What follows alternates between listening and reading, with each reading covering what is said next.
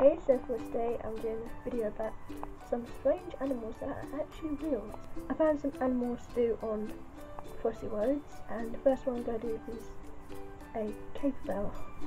Uh, sec. That actually, oh, that's a massive guinea pig. so weird. Zoe a other face is a massive guinea pig. Uh, so some of these are so weird because it's like you never actually see them in zoos or anything.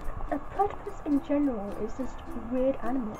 I spell, can I? It's kind of hard to spell when you're holding a camera with one hand and trying to type the keyboard with the other. But yeah, platypus is so weird. If you actually look at a real life one and the actual platypus and period platypus, they're both very different. It's weird. Ichidara.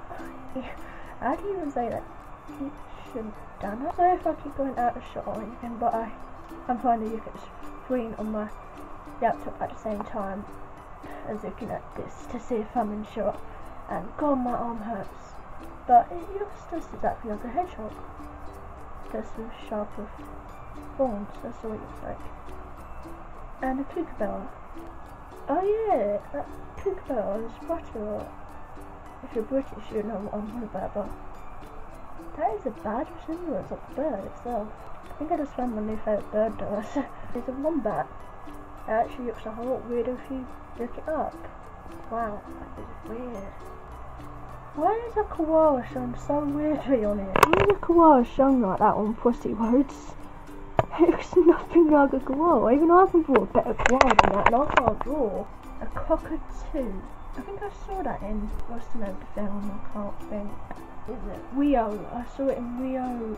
Yes, this is another day, but Brain, my brother for needing to cut his hair. Let's get back to what I was filming before. And just look at that picture, wow, that is evil looking. But it's weird because there he like an angel even. But then that. Ugh! What noise was that? And then this one is an. Which just looks like an outfit. But my friend loves this picture.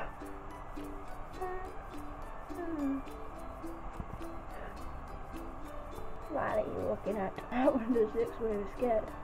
I'm not clicking there for full resolution. What is this one's actually a Pokemon. It's weird. When I saw this picture, I thought I recognised it from somewhere. It's actually. It's so weird. It looks like Devil's Child or something. And there's also Blobfish. What the heck is that? Think you have no self-esteem because of how you look. You look at this thing. That don't have a self-esteem. What even is that? Is that just a of lipstick on? Eh? I think that might be time to finish up this video because that's scary. But yeah, I've done this video because it's my friend's birthday, you see, and I wanted to do a video based on a conversation we basically had a couple days ago, and God, my arm is tired, and so, wow, those things actually exist in this world. Are you sure fantasies actually fantasies, or like stories that happened in the past, or what are they? But basically, happy birthday, you see.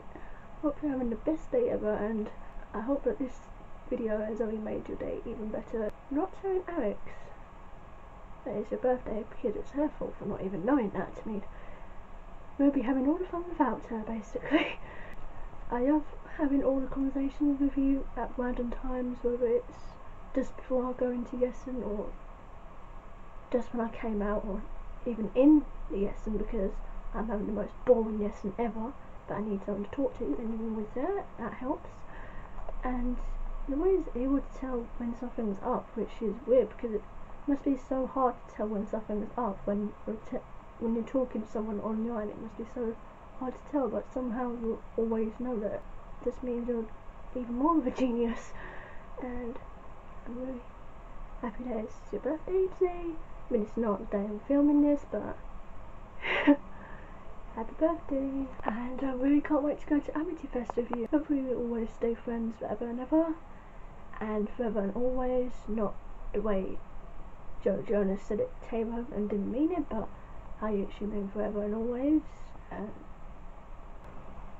yeah, best day ever. Always, I'm gonna come over there make you have the best day ever. Yes, I am. So, thanks for watching all of this was. It's me, Rachel, and here's my brother Daniel. Ah, there's two Daniels, although if this was Dan Howell, that might be a dream, but it's my brother Daniel. Wait, so I want to make my